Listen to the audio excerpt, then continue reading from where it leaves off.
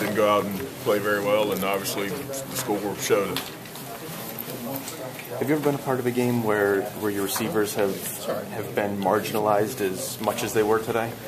As what do you mean marginalized? Not really used. I mean, you guys weren't able to get the ball to him, and when you did, it seemed like you weren't able to come up with catches. I mean, produ- production wise.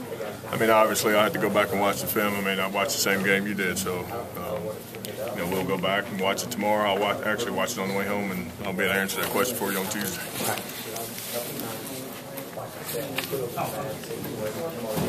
What was the toughest part for you guys today, receiving wise?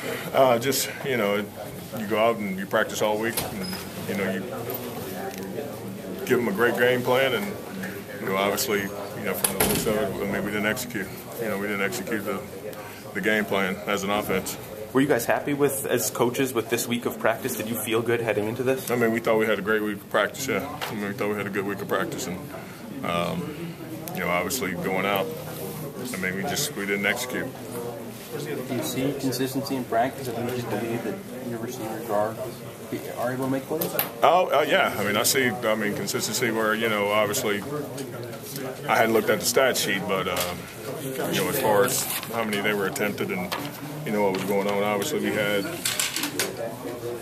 one catch, so you know, or, um, like I said, I'm have to look at the film and see what was going on because I haven't seen it for having a good week of practice, does that make it even harder for you guys to wrap your mind around when when you feel good about it, you feel like you have a good game plan, you feel like the guys bought in, had a good week, and then and then to not see the results? Is I mean, you know, the biggest thing about it, I mean, we're all you know, upset about what the outcome was. So, uh, you know, until I go watch it, until we watch it as offensive staff to see what we got to get fixed, see what we got to get corrected, you know, you saw the game just like I did. So, the, you know, the biggest thing about it is we have to, you know, watch this game on Sunday and then get prepared for another tough opponent next Saturday. Did Maryland do anything you didn't expect, or was this pretty pretty typical? I mean, they, they play what they've been playing for the last four weeks. You know, didn't do anything different. You know, they lined up and played what they've been playing for the last two or three weeks. First three opponents today. Thanks, Mr.